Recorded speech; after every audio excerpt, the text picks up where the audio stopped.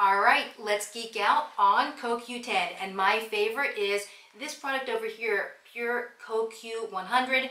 You can probably see it has the MTHFR family over there, basically saying it's clean enough and pure enough for somebody that has MTHFR.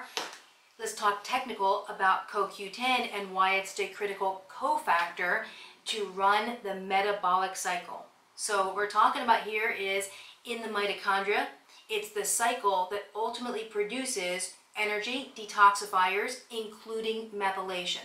And there's three cofactors that are required to run that. There are a number of cofactors, but three that become really important for us when MTHFR is in the mix.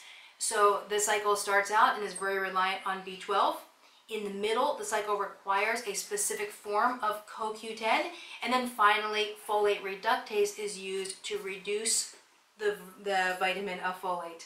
All right, so we had spoken in a previous video about this product over here, pure methylation. So if you think about the mitochondria and part one and part three, uh, so B12 and reduced folate, this is your product over here, still right in the middle of the mitochondria is CoQ. And so again, I like the fact that this product is so highly absorbable.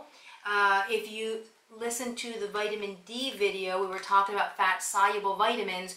CoQ10 is fat-soluble. So if you didn't catch over there, let me tell you here, anytime you're having a fat-soluble vitamin, make sure you take it with fatty foods. So vitamins A, D, E, K, and CoQ10, as you're taking them, make sure you have them with something in your stomach or that you're eating something with it at the same time.